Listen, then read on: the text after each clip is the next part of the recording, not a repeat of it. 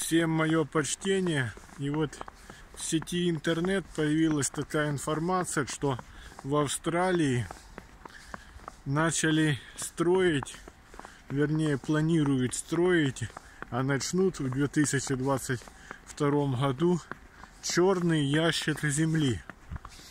Якобы этот черный ящик будет хранить информацию для тех, кто придет после людей на планету Земля, причины и то, как человечество и шло к своей гибели, к гибели жизни на планете Земля. Это, этот черный ящик будет построен на равнине гранитной.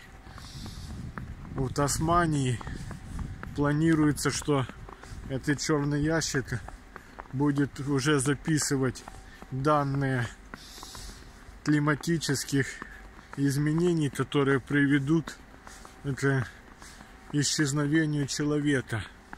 Фактически будут строить такой же черный ящик, якобы как и у летательных аппаратов, самолетов, вертолетов.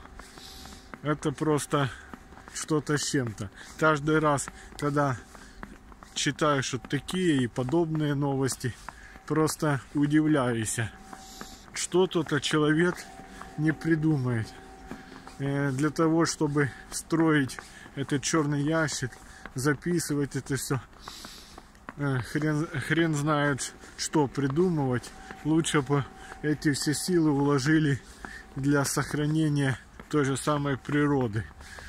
Но вот как вы считаете, этот ящик черный, если человечество исчезнет,